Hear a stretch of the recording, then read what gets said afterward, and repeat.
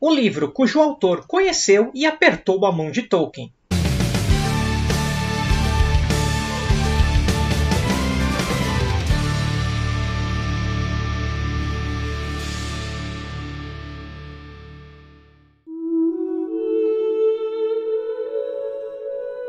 Olá, meus queridos e queridas Tolkien Talkers! Antes de falarmos deste livro e de seus curiosos casos, já sabe como é que é, deixa aquele seu like aqui, se inscreve no canal, do lado, clica no sininho, fica de olho nas notificações. Você sabia que 40% das pessoas que assistem o TT não são inscritas aqui? A cada 10 pessoas, somente 6 são inscritas. Não custa nada, se inscreve e ajuda o nosso trampo. Se quiser ajudar de outras maneiras, eu gravei um vídeo explicando cada uma delas. Você pode comprar pelos nossos links, pode ser membro aqui do canal. Aliás, é a melhor parte, porque fazendo parte da membership do TT, você tem acesso a conteúdo exclusivo, além dos que a gente já oferece aqui semanalmente. Agora vamos à resenha desse livro muito bacana. Ele tem dois fatos curiosos, um envolvendo o autor e outro envolvendo a mim mesmo. Eu vou fazendo a resenha e conto as curiosidades no meio do caminho, porque faz mais sentido. Para começar, quem é Toby Whitcomb? Ele é um estudioso de literatura e autor inglês nascido em Reddington, subúrbio de Oxford, no ano de 1955.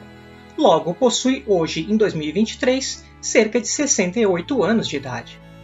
Apesar de ser britânico, hoje ele é professor de literatura inglesa na Universidade do Alasca, nos Estados Unidos. É especialista em literatura americana e também é poeta. Toby possui diversos artigos e textos sobre literatura em língua inglesa e ficção científica espalhados em diferentes sites do meio. Além disto, é autor de alguns livros que trazem de maneira leve uma introdução para grandes autores como Shakespeare, J.R.R. Tolkien e Raymond Chandler. A maior parte de seus livros é datada dos anos 2000 em diante. O livro que falaremos hoje saiu no Reino Unido e nos Estados Unidos em novembro de 2019, com o título de J.R.R. Tolkien A Guide for the Perplexed. A tradução brasileira foi trabalhada durante o ano de 2020 e a edição foi lançada no comecinho de 2021, primeiramente em formato digital e depois na versão física. Aqui vamos à primeira curiosidade, porque eu trabalhei nesse livro. Eu fui chamado para ser consultor tokenista, ou seja, revisar os termos, observar se alguma coisa está fora de contexto, enfim, daquela geral de quem entende do legendário, porque o revisor e os tradutores não são especialistas na obra de Tolkien. Só que quando eu li o prefácio, eu fiquei impressionado, porque o autor conheceu o Tolkien, conversou com ele e apertou a mão. Isso explodiu a minha mente. Então, no meio da consultoria, eu escrevi para a editora sugerindo que nós aumentássemos esse prefácio, porque eu sabia desse, desse evento que aconteceu aí, e ainda falei que, olha, acredito que o autor tenha errado as datas, porque isso que ele comenta aconteceu em outro ano. A editora, por sua vez, mandou um e-mail para o Toby e o Toby falou: Parabéns pela pessoa que vocês contrataram, de fato eu errei as datas, vocês estão muito bem servidos mas ainda assim a editora não aumentou o prefácio, o que eu acho uma chance perdida. Além disso, eu sugeri também que o título original fosse mantido, algo como J.R.R. Tolkien, um guia para os perplexos. Porque esse perplexo quer dizer algo como alguém que ficou maravilhado, enfeitiçado, encantado pelo conteúdo, e é mais ou menos como eu me sinto e a maioria das pessoas que aqui assistem o TT. E mesmo eu corrigindo o autor, sendo elogiado por ele e dando essas duas sugestões, eu fui devidamente ignorado. Essa era a minha curiosidade. Agora vamos falar do livro em si e do seu conteúdo. O livro é ótimo e lembra um pouco os trabalhos de Tom Shippey e do, e do casal Hammond e School, mas não tão densos, ou seja, dentro das suas devidas proporções, afinal, esses são os maiores nomes tokenistas de todos os tempos. O trabalho me lembra um pouco desses tokenistas porque ele faz vários paralelos entre a vida de Tolkien e o que ele estava escrevendo e como isso ajudou a moldar a Terra-média. Além disso, o livro faz correlações muito inteligentes dentro do próprio legendário, mostrando como os diferentes livros da Terra-média ecoam e amarram uns aos outros. Esses são os dois maiores temas dentro desse livro, mostrando como a vida do autor impactou na obra e como a obra conversa entre si, dando essa coesão, ou seja, como Tolkien foi moldando, lapidando, dando esses acabamentos nesse mundo profundo e intrincado. O ponto mais alto da publicação, curiosamente, é o apêndice A, que possui nove páginas com tabelas ao final da obra. Essas tabelas mostram possíveis inspirações e correlações diretas de Tolkien com obras famosas que ele teve contato ou poderia ter tido. Ou seja, nelas, nessas tabelas, temos a sugestão de onde determinado tema ou assunto da Terra-média pode ter tido sua origem, influência ou eco.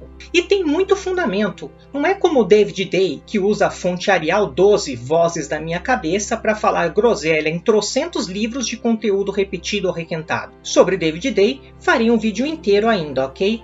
Direto me perguntam sobre ele, mas não, não sugiro suas obras. Aliás, sugiro que não comprem. Agora que vocês já sabem tudo do autor e o que há dentro da obra, vamos dar uma olhada no livro e eu conto a segunda curiosidade para vocês. Já estamos aqui com o livro em mãos ele é bem bonitinho, ele é brochura, né? ou seja, ele é colado aqui, não é capa dura. O tamanho dele é do tamanho das brochuras da HarperCollins, então de altura ele combina com essa edição do Joe Hobbit aqui. O papel é um papel cartão bem firme, bem durinho, ainda mais que tem orelha, fica mais durinho ainda, né? Porque dobra. E aqui na orelha a gente tem uma, uma pequena bio do Tolkien e do lado da quarta capa nós temos uma pequena bio do Toby Widcombe, do autor, né? Então esse papel aqui é um papel cartão, parece até um reciclado bonito. Gosto dessa textura mais desgastada que eles colocaram. É, esses arabescos imitando dourado, o nome do Tolkien. Não gosto de terem usado a fonte dos filmes do Peter Jackson, né, que é a Ring Bearer. Eu acho que é um caminho fácil, assim, uma armadilha. Eu não teria usado isso, mas ok. E aqui o logo da U-Book, que é a editora. Muitas editoras colocam seu logotipo na capa, uma coisa que eu também não sou muito fã não. Aqui a gente tem a lombada padrão, basicamente do jeito que eu gosto, nome do autor, nome do livro e símbolo da editora. E quando você coloca o livro deitado na mesa ou na cama, tá certinho, porque muita gente, muitas editoras às vezes colocam de baixo para cima, né, a leitura. Faz essa leitura assim e não essa leitura assim. Né? Então aqui ficou bonitinho, gostei. Aqui atrás a gente tem uma sinopse do livro e os dados da. Então, vamos para a parte de dentro. Tem um papel amarelado, muito bom, muito confortável.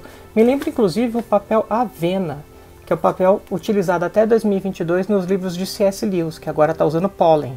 Mas esse livro aqui do C.S. Lewis ele tinha esse Avena, que inclusive a, a Inesita aqui do canal e a Gabi do, da playlist de Lewis gostam até mais do Avena do que do Pollen, que ele é bem aveludado, né? Então é super confortável de ler, né? Ele é gostoso ao toque. A diagramação é uma diagramação bem simples, não tem grandes direções de artes, mas eu gosto aqui desses arabescos que foram feitos, achei que ficou bonitinho. Então toda a página que você vai tem esse arabesco aqui, gosto. A tipografia é uma tipografia serifada muito boa. A mancha tá boa também, né? Porque você tem boas margens superiores e externas inferiores. A, a, margem interna é um ponto que poderia ser melhorado, né? É o único ponto que não ficou perfeito, mas ainda assim é uma mancha ah, confortável. Em especial, o espaçamento entre linhas é muito confortável. Vocês podem ver que dá para ler tranquilamente e também entre palavras e entre caracteres. Então é um corpo de texto gostoso de ler. Ó. É raro você ter esse tamanho de fonte, esse espaçamento de, de linha, né? O pessoal geralmente quer dar uma economizada no papel tal. Eu gostei bastante. Olha, mesmo você tendo uma página entupida de texto, olha como as coisas saltam. Né? Gosto bastante. Acho que isso aqui é a melhor experiência que você pode ter de leitura, assim, de conforto, né? Papel amarelado, uma boa diagramação, simples, sem inventar a roda. Gostei. E aqui no final do livro tem o grande tesouro, né, que é os apêndices, em especial o apêndice A. Ele tem aquelas tabelas das fontes ou possíveis influências. Então, por exemplo, aqui ó, se a gente tem, vamos ver o primeiro, a Batalha de Maldo, o fragmento. Aí mostra o significado das definições de heroísmo e orgulho, uma palavra em inglês antigo, combinam com as do legendário. E ele vai mostrando perigos de quebrar juramentos, conexão com a tradição, topo do vento, Elwin. E ele vai mostrando isso em nove páginas. É muito bacana. Então vários temas estão aqui. E o apêndice B também é bem legal, porque a gente tem a questão dos filmes do Peter Jackson, as adaptações. Gosto bastante. Então é um livro curto, de uma leitura de leve para intermediária e com conteúdo realmente muito bom. Mas o mais legal que eu quero mostrar para vocês, que é a grande curiosidade, é o prefácio. Eu vou ler aqui para vocês porque ele não é muito longo, mas olha só que espetacular esse prefácio. Escrevi muitos livros em minha carreira acadêmica. No entanto, este é especial para mim, não apenas porque Tolkien é muito importante como figura literária. Há razões mais pessoais. Quando eu tinha 10 ou 11 anos, minha escola em Oxford ensinou uma versão musical de O Hobbit. Isso deve ter ocorrido em 1965 ou 1966. Eu li esse livro um ou dois anos antes, mas ainda não havia lido a obra-prima de Tolkien. No musical, desempenhei um papel pequeno como membro do Coral das Aranhas. Sim, houve algo do tipo, e eu era horrível. O próprio Tolkien veio assistir à produção e nos encontrou nos bastidores após a apresentação. Como eu me lembro, ele era cortês, charmoso e gentil o suficiente para dizer coisas sobre nossos esforços que nos incentivaram e apertar as mãos de cada um de nós. Momentos como esse são inesquecíveis, principalmente quando eles o acompanham ao ler O Senhor dos Anéis e ser totalmente cativado pelo livro. Depois descobri que Tolkien era vizinho da minha família em Reddington.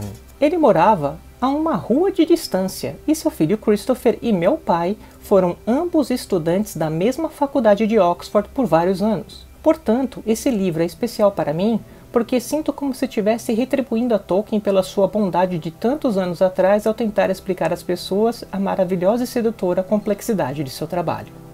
Espetacular, né? Não é incrível que ele tenha sido uma das crianças que fez essa apresentação, que o Tolkien e a Edith tenham assistido, apertado a mão e ainda elogiado eles? Eu achei super doce da parte deles irem lá e falar com cada uma das crianças. Como dito, o autor se confundiu com as datas, pois quando eu resenhei o livro Cartas de J.R.R. Tolkien, eu mostrei que o diretor e roteirista da peça tinha sido Humphrey Carpenter, sim, o biógrafo oficial de Tolkien. Se você quiser saber mais sobre o Cartas, esta peça, a biografia e o biógrafo, temos TTs dedicados para eles, Conteúdo de sobra para você entender o quão maluco é o Toby estar envolvido nisso. Aqui embaixo está o link do livro caso você queira adquirir e com o link do TT, assim você ajuda o canal sem custo adicional. No resumo, é uma obra muito gostosa de se ler, em especial para iniciantes e intermediários. Já o leitor avançado, heavy user, não vai ver tanta diferença assim, porém ele vai gostar das tabelas do apêndice A. Até porque eu nunca vi um trabalho desse jeito, tão acurado e tudo juntinho, assim, redondo, assim, ajuda muito, pelo menos para você entender o grande quadro. E aí, curtiu a resenha? Então deixa aquele like, deixa aquele seu comentário, se inscreve no canal, deixa seu ponto, seu emoji, ativa as notificações, faz tudo porque faz muita diferença. Sim, um comentário, um like faz toda a diferença, vocês não têm ideia. Se quiser ajudar mais ainda, compra com o nosso link que está aqui embaixo, seja membro do canal, acessa a nossa página lá na Amazon, que ficam todos os livros de Tolkien juntinho. Você comprando por lá, você não vai pagar nadinha extra, mas ajuda a gente. Enfim, tem muitas maneiras. E uma outra maneira também é você conhecer o meu novo canal, o Dragão Verde, onde nós fazemos leituras coletivas. Começamos com Hobbit e agora estamos na Sociedade do Anel. Uma vez por semana nós nos encontramos para discutir um capítulo. No final do vídeo vai ter o link para o Dragão Verde. Espero que vocês tenham gostado desse TT. Deixo aqui meu grande abraço. Namarie!